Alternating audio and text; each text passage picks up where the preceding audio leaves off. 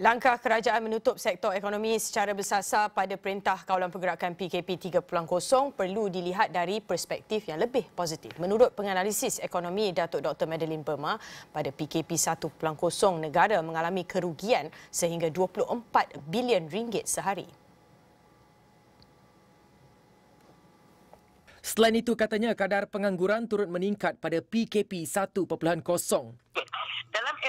Yang pertama kita lihat bagaimana kerajaan telah mengambil satu pendekatan yang sangat drastik ya.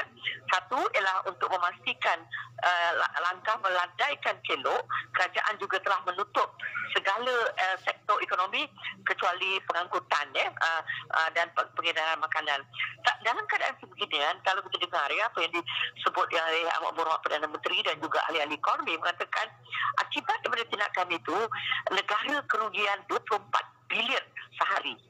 Justru beliau menggesa orang ramai supaya tidak khawatir dengan penutupan sektor ekonomi secara bersasar kerana tindakan itu adalah untuk mengimbangi faktor kesihatan dan ekonomi.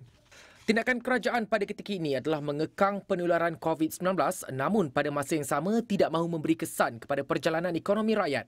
Ini kerana penutupan keseluruhan sektor ekonomi akan lebih memudaratkan golongan rentan berbanding mereka yang berkemampuan.